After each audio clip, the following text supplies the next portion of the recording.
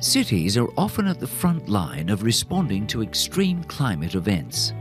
But cities have limited resources to spend on pre disaster resiliency development and post disaster recovery, especially in emerging economies.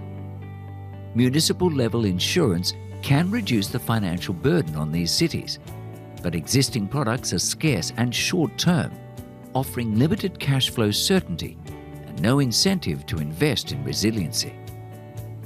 Climate Insurance Linked Resilient Infrastructure Financing, or CILRIF, is a long term municipal insurance solution linked with financing for climate resilient infrastructure in cities.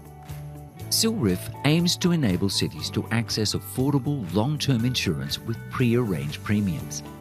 If a city implements the adaptation measures set out in the insurance policy, the insurance premium will decrease to reflect the managed risk.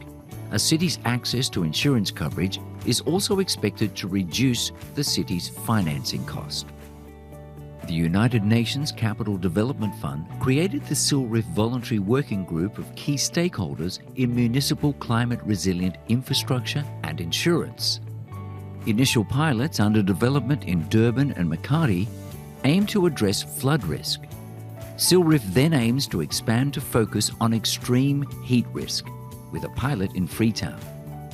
Both flood and extreme heat are relatively well understood risks with stable profiles, making them suitable for CILRIF's first phase.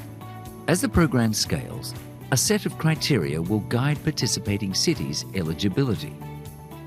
When CILRIF is up and running, it will help cities around the world to get access to quick liquidity from insurance products.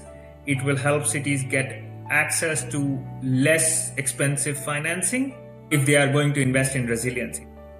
As CILRIF scales and the number of cities within the risk pool increases, the risk is diversified.